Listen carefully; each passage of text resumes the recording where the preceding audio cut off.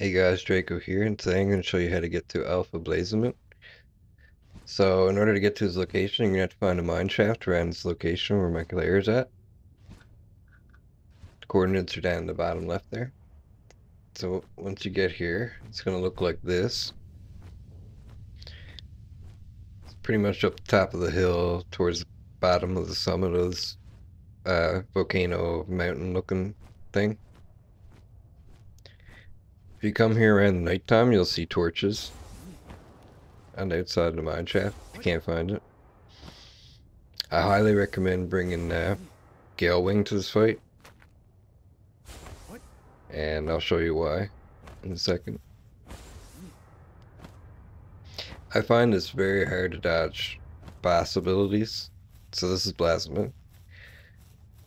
So in order to dodge the boss abilities, I used Gale Wing.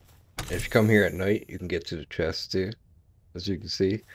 I'm thinking this chest might give you plus two heat resistant shirt undershirt. But we'll see.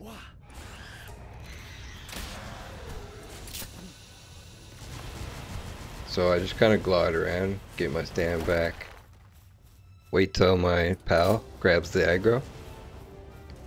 Remember, this is hard mode, solo too.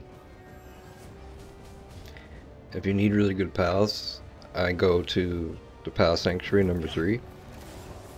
That's where I capture, I caught my own Blasphemous, but not an alpha one, right, to fight him.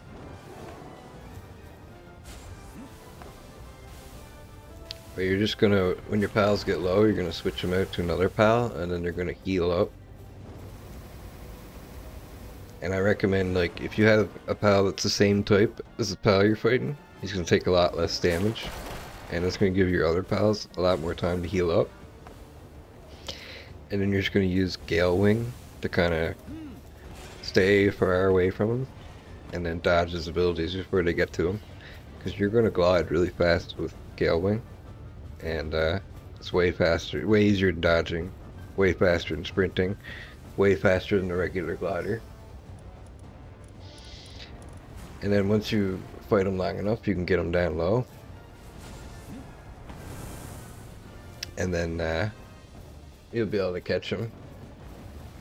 I recommend using uh, legendary spears and a lot of them. As you can tell, you only have a very low percentage. So good luck catching your own Blazamut and thanks for watching. Don't forget to like and subscribe for more content and I'll see you next time.